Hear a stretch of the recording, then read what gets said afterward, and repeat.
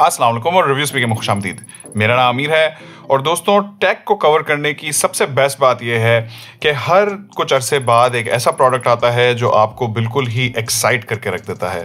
हमारा आज का प्रोडक्ट भी ऐसा ही एक प्रोडक्ट है हाई परफॉर्मेंस स्पेक्स और सैमसंग का ब्रांड नेम यस प्लीज़ ये है सैमसंग गैलेक्सी M51 हमारी आज की वीडियो में हम इसकी अनबॉक्सिंग करेंगे और आपको इसके फीचर्स के बारे में बताएँगे। अगर आप मिड रेंज प्राइस सेगमेंट में एक पावर यूज़र हैं या फिर एक गेमर हैं या एक कैमरा एंथुजियस्ट हैं तो ये वीडियो आपके लिए है। क्योंकि गैलेक्सी M51 में है मिड रेंज का एक सॉलिड गेमिंग प्रोसेसर आला डिस्प्ले सुपर फास्ट चार्जिंग ज़बरदस्त कैमरा स्पेक्स और एक मॉन्स्टर बैटरी इनफैक्ट इस फ़ोन की बैटरी साइज़ मेरे लिए अब तक की सबसे बड़ी बैटरी साइज़ है जो मैंने इस चैनल पे कवर की हो। और इस फ़ोन की प्राइस भी मुझे बहुत अच्छी लगी, क्योंकि गैलेक्सी M51 पाकिस्तान में इकसठ की प्राइस पे आया है। और इस फ़ोन को आप दराज से ख़रीद सकते हैं लिंक डिस्क्रिप्शन में है।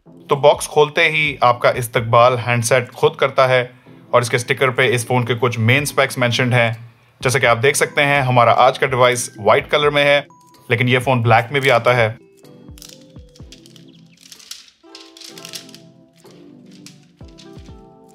और फ़ोन की फिनिश हाई ग्लॉस है। और ऐसी हाई ग्लॉस फिनिश में वाइट कलर अमूमन बेस्ट होता है क्योंकि उस पर फिंगरप्रिंट्स कम दिखते हैं। फ़ोन में थोड़ा वज़न है, लेकिन 213 ग्राम के साथ ये उतना वजनी नहीं है जितना मैंने सोचा था। इसका आजकल के फ्लैगशिप फ़ोन जैसा वज़न है। अगर आगे बढ़े तो फ़ोन के साथ 25 वॉट की super fast charging power brick है। और एक यूएसबी टाइप सी केबल है। और अगर बॉक्स की लिड में देखें तो यहाँ वो फोल्डर है, जिसमें यूज़र मैनुअल्स हैं और कुछ वारंटी इन्फॉर्मेशन है। और एक बात का ख्याल रहे कि इस फ़ोन के साथ कोई सिलिकॉन प्रोटेक्टिव केस या प्री अप्लाइड स्क्रीन प्रोटेक्टर नहीं आता तो आपको खुद खरीदना होगा। अब अगर आ जाए वापस हैंडसेट की डिज़ाइन पे तो इस फ़ोन की साइज़ काफ़ी बड़ी है। नोट 20 अल्ट्रा जितना फैबलेट साइज़ फ़ोन तो नहीं है, लेकिन डेफिनेटली प्लस साइज़ है। अगर मटेरियल्स की बात करें तो यहाँ बैक पॉलीकार्बोनेट प्लास्टिक की है और फ्रेम भी, जो कि दो लिहाज से इस फ़ोन के लिए एक अच्छी चीज़ है। पहली चीज़ तो यह है कि प्लास्टिक गिरने से इस फ़ोन को ज़्यादा बेहतर प्रोटेक्ट करेगा और पायदारी के लिहाज से प्लास्टिक ग्लास की बनस्बत ज़्यादा बेहतर होता है। और दूसरी वजह है वज़न, क्योंकि प्लास्टिक का वज़न भी ग्लास से कम होता है और अगर इस फ़ोन पे ग्लास लगाया जाता तो इतनी बड़ी बैटरी के साथ आप अपने जेब में एक ईंट लेके घूम रहे होते। फ़ोन के आगे वाली तरफ़ गुरेला ग्लास थ्री प्लस की प्रोटेक्शन है, जो कि इस प्राइस रेंज के हिसाब से बहुत ही बेसिक प्रोटेक्शन है। तो मैं आपको रेकमेंड करूँगा कि इस फ़ोन पर फौरी एक स्क्रीन प्रोटेक्टर लगा लें। फ़ोन के राइट साइड पे इसका पावर बटन है, जिसके अंदर ही इस फ़ोन का फिंगरप्रिंट सेंसर भी है। ये भी एक अच्छा मूव है सैमसंग की तरफ़ से, क्योंकि माजी में सैमसंग के मिड रेंज फ़ोन हमेशा अंडर डिस्प्ले फिंगरप्रिंट सेंसर के साथ आते थे, और फिर उनको स्पीड के हवाले से बहुत ज़्यादा क्रिटिसिज्म का सामना करना पड़ता था, जबकि ये side mounted physical fingerprint sensors अमूमन ज़्यादा तेज भी होते हैं और ज़्यादा रिलायबल भी। लेफ़्ट वाली साइड पे इस फ़ोन की सिम ट्रे है, और यहाँ आपको फुल ड्यूल सिम एक्सपेंशन मिलती है। तो ये फ़ोन दो सिम और एक माइक्रो एसडी कार्ड सब एक साथ ले सकता है। और नीचे वाली तरफ़ है एक headphone jack USB type C port mic और एक स्पीकर ग्रिल अब जैसा कि मैंने आपको पहले बताया, ये एक बड़ा फ़ोन है तो गैलेक्सी M51 में 6.7 इंचेस का ये बड़ा सुपर एमोलेड डिस्प्ले है। जिसका resolution full H D plus यानी कि 1080 eighty by twenty four hundred है, जहाँ पिक्सल डेंसिटी तीन सौ तिरानवे पीपीआई बनती है। डिस्प्ले के ऊपर एक होल पंच कटआउट दिया गया है, जिसमें इस फ़ोन का सेल्फी कैमरा है। अब इस डिस्प्ले के अंदर हाई रिफ्रेश रेट तो नहीं दिया गया है, लेकिन जहाँ तक मैं आप लोगों को जानता हूँ, आप लोगों के लिए ज़्यादा बड़ी प्रायोरिटी है एमोलेट पैनल और फुल एच डी रेजोल्यूशन तो अगर आप इस डिस्प्ले से सहमत है तो मुझे कॉमेंट सेक्शन में ज़रूर बताएगा इस पॉइंट को हम ज़्यादा डिटेल में कवर करेंगे इस फ़ोन के फुल रिव्यू में। अब आगे बढ़ के बात करें कैमरास पे तो यहाँ एक क्वाड कैमरा सेटअप है और एक बार फिर बहुत ही सॉलिड स्पेक शीट है। चौंसठ मेगापिक्सल का F one point eight aperture वाला मेन कैमरा है। ये एक Sony I M X six eight two sensor है। साथ में बारह मेगापिक्सल का अल्ट्रावाइड कैमरा है। जो कि एक और प्लस पॉइंट है, क्योंकि इस प्राइस में ज़्यादातर कंपेटिटर्स 8 मेगापिक्सल के अल्ट्रा वाइड कैमरास देते हैं, जिनका लो रेजोल्यूशन आपको महसूस होता है। तो यहाँ अल्ट्रा वाइड कैमरा का भी एक्सपीरियंस उनसे थोड़ा बेहतर होने वाला है। साथ में 5 मेगापिक्सल का मैक्रो कैमरा है और पाँच मेगापिक्सल का डेप्थ सेंसर है, जबकि आगे वाली तरफ़ 32 मेगापिक्सल का एफ़ टू पॉइंट ज़ीरो के साथ सेल्फी शूटर है। फ्रंट और बैक कैमराज की maximum video recording resolution four K thirty frames पर सेकंड रखी गई है। अब इस कैमरा के कुछ सैंपल्स तो मैं आपको ऑलरेडी दिखा चुका हूँ, लेकिन इसका पूरा खुलासा मैं करूँगा इस फ़ोन के फुल रिव्यू में।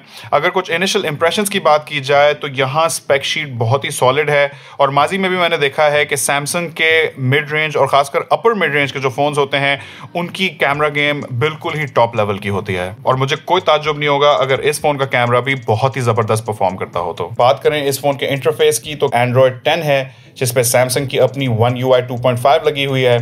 ये इस फ़ोन का एक प्लस पॉइंट है, क्योंकि सैमसंग के बजट और मिड रेंज फोन्स में भी आपको उसी टाइप का एक्सपीरियंस मिलता है, जो हम सैमसंग के फ्लैगशिप फोन्स में देखते हैं। अब बात करते हैं परफॉर्मेंस और हार्डवेयर स्पेक्स की।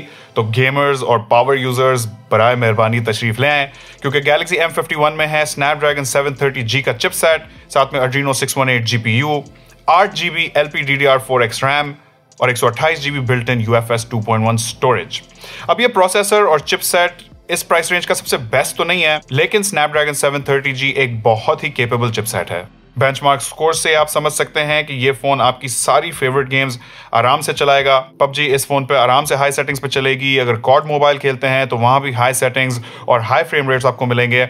लेकिन यकीनन परफॉर्मेंस का भी मैं जायजा लूँगा इस फ़ोन के फुल रिव्यू में, क्योंकि ये वीडियो एक अनबॉक्सिंग वीडियो है। अभी अभी मैंने ये फ़ोन खोला है तो मैं आपसे इनिशियल इंप्रेशन ही शेयर कर सकता हूँ। तो अगर आप हमारे चैनल पर नए हैं तो मैं आपको रिकमेंड करूँगा कि आप चैनल को सब्सक्राइब कर लें और नोटिफिकेशन को ज़रूर ऑन कर लें, ताकि हमारी नई वीडियोज़ का आपको पता चल सके। अब आगे बढ़ के बात करते हैं गैलेक्सी एम के एक और बड़े सेलिंग पॉइंट पे और मैं तो कहूँगा सबसे बड़े सेलिंग पॉइंट पे वो है इसकी बैटरी साइज़ और चार्जिंग सेटअप क्योंकि यहाँ आपको 7000 हज़ार मिलियम पावर की एक मॉन्स्टर बैटरी दी गई है। मैंने आज तक इतनी बड़ी बैटरी के साथ कोई फ़ोन इस्तेमाल नहीं किया है तो ये यकीनन मेरे लिए भी एक बहुत इंटरेस्टिंग सा फीचर है।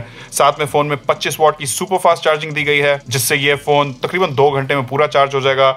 लेकिन एक बार ये फ़ोन चार्ज हो गया तो दोस्तों धमाधम मस्त कलंदर हो जाएगा। मेरे हिसाब से ये फ़ोन ज़्यादातर लोगों के लिए दो दिन तो बहुत आराम से निकालेगा। अगर आपका यूसेज लाइट हो तो तीन या शायद उससे ज़्यादा भी टाइम निकल सकता है। लेकिन ज़ाहिर है बैटरी लाइफ को प्रॉपरली जज करने के लिए मुझे इस फ़ोन को थोड़े दिन इस्तेमाल करना पड़ेगा। साथ ही साथ गैलेक्सी एम के अंदर रिवर्स चार्जिंग भी दी गई है।